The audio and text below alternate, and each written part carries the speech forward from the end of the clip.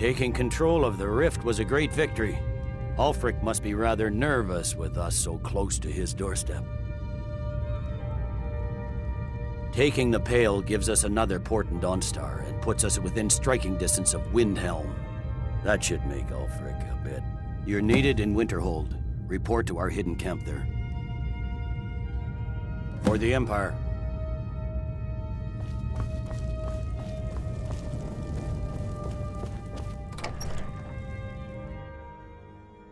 What do you need?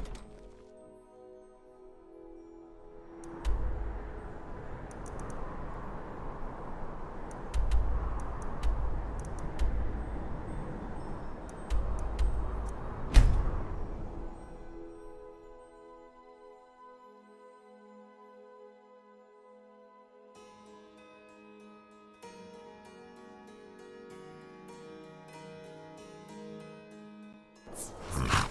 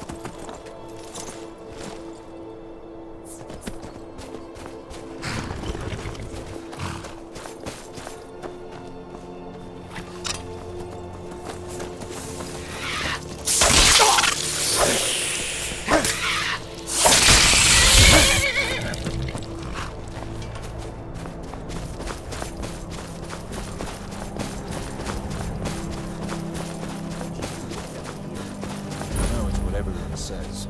To go to new places and see the world. Something to report?